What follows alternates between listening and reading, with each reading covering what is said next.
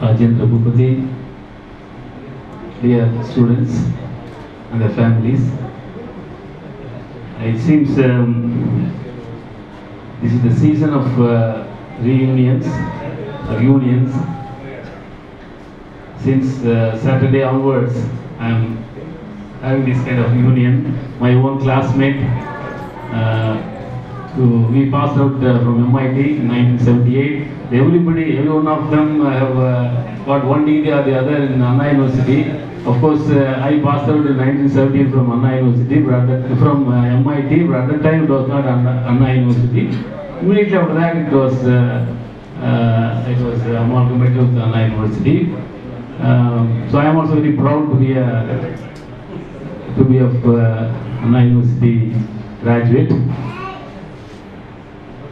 In fact, uh, since uh, Saturday, as I was telling, I'm meeting all the my own classmate uh, who, who is in Bangalore. He came with his family, and it was a very nice, very exciting day for me on that day. And the next day, uh, yesterday, uh, we we had uh, the reunion of 85 batch, and uh, and yesterday evening, in the EC department, the 2000 batch, they came with their families and uh, we had a nice time in the evening 4 to 7.